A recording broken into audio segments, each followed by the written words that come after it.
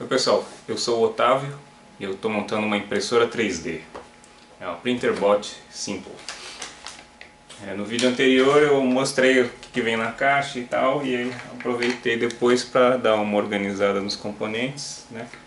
Botei as coisas nos saquinhos, etiquetados e tal.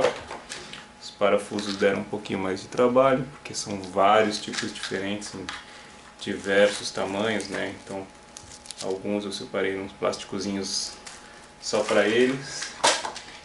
E aqui na caixa ficou assim, não sei se vai dar para vocês verem. Né? Separei, tentei separar aí cada componente para depois ficar fácil na hora só pegar e montar. Né?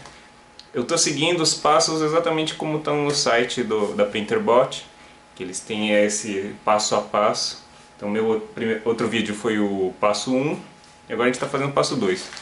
No passo 2 eles só pedem para a gente conferir se a gente está acompanhando o guia certo, né? Porque eles têm a, a, a Printerbot evoluiu bastante, né? Desde a primeira versão. Então eles vão atualizando é, o manual de montagem.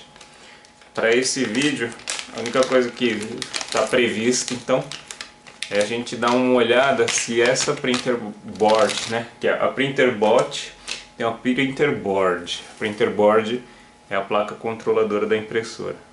Né? E nesse segundo passo, então ali no site eles pedem para a gente conferir se a gente está com o modelo revisão F mesmo da placa. Né? É, dá para ver aqui, não sei. Aqui, achei. Então bem aqui está escrito printer board. Printer board revisão F4 vamos ver se a gente consegue dar foco nisso daí